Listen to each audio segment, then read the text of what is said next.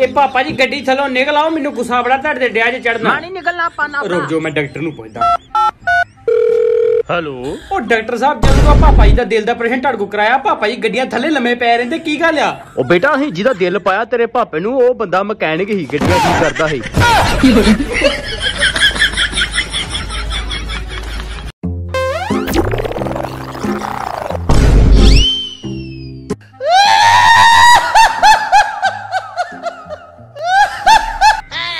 Hello. ਸਤਿ ਸ਼੍ਰੀ ਅਕਾਲ sir ਤੁਹਾਡਾ ਨਾਮ ਕੀ ਹੈ? ਕੌਣ ਬੋਲਦਾ? ਸਰ ਮੈਂ ਦੱਸ ਦਿਨਾ ਕੌਣ ਬੋਲਦਾ? ਤੁਸੀਂ ਨਾਮ ਕਨਫਰਮ ਕਰਵਾ ਦਿਓ ਉਹ ਕੌਣ ਬੋਲਣ ਡਿਆ? ਮੈਂ ਕਹਿਣ ਡਿਆ ਨਾ ਦੱਸ ਕੌਣ ਬੋਲਦਾ? ਬੋਲਣ ਦੀ ਗੱਲ ਹੈ ਕਿ ਤੈਨੂੰ ਪਲੀਜ਼ ਸਰ ਰਿਸਪੈਕਟ ਨਾਲ ਬੋਲੋ। ਤੁਸੀਂ ਸਿਕਿਉਰਿਟੀ ਗਾਰਡ ਜੌਬ ਲਈ ਫਾਰਮ ਭਰੇ ਸੀ ਨਾ ਸਰ ਆਹੋ। ਸਰ ਜੌਬ ਤੇ ਰੱਖਿਆ ਸੀ ਤੁਹਾਨੂੰ? ਪਰ ਹੁਣ ਤੁਹਾਨੂੰ ਤਾਂ ਬੋਲਣ ਦੀ ਅਕਲ ਨਹੀਂ ਹੈਗੀ ਤੇ।